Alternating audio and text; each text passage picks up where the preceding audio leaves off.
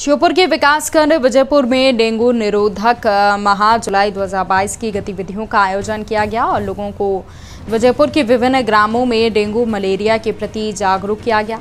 जिला मलेरिया अधिकारी doctor S N Bindal और जिला मलेरिया सलाहकार किरत सिंह कवचे के निर्देशन में डेंगू माह की गतिविधियों का आयोजन malaria technical supervisor Sahib Mohammad Qureshi और सीएचओ जितेंद्र सैन एएनएम माधुरी अग्निहोत्री के द्वारा ग्रामों का भ्रमण कर जनमानस को डेंगू, मलेरिया बीमारी के प्रति जागरूक किया जा रहा है।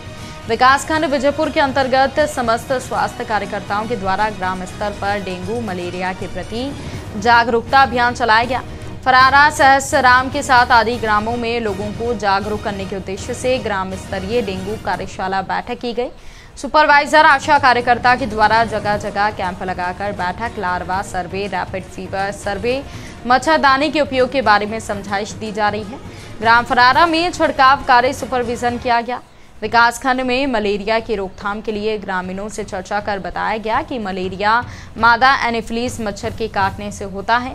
ये मच्छर साफ़ पानी में पनपते हैं, इसलिए हमें अपने घर व घरों के बाहर साफ़ सफ़ाई का ध्यान रखना चाहिए और बर्तनों, कूलरों को साफ़ करके पानी भरना चाहिए। जागरूकता ही हमें डेंगू से बचा सकती है। इसके अलावा मच्छरों को भगाने वाली क्रीम व रात को सोने से पहले नीम की पत्तियों का धुआँ करें। मच्छरों के प्रजनन स्थलों को नष्ट करने के भी उपाय बताए गए।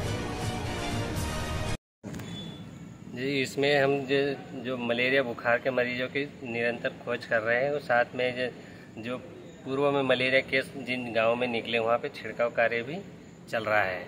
और सर्वेलेंस लगातार हमारा जो डेंगू के मरीज़ जहाँ निकले उन क्षेत्रों में लगातार सर्वेलेंस कार्य भी करवाया जा रहा है। सर, अगर अपन इस महीने की बात करें तो इस महीने में मलेरिया विभाग के द्वारा कहाँ कहाँ लोगों की जांचें कर ली गई हैं और कहाँ कहाँ मतलब लोगों को सुझाव दिए गए हैं। कौन कौन से क्षेत्र हैं? मतलब क्षेत्र क्षेत्रवाई क्षेत्र लगभग कितने, संख्या कितनी हो सकती है? ऐसे तो हमारे जैसे पचास साठ गाँव में लगातार ये एक्टिविटी चल रही है। हमारे स्वास्थ्य कार्यकर्ता, आशा कार्यकर्ता N M M P W एवं हमारे मलेरिया विभाग में मलेरिया टेक्निकल सुपरवाइजर मलेरिया निरीक्षक, इनके द्वारा लगातार लार्वा सर्वे लार्वा नष्टीकरण की कार्रवाई की जा रही है।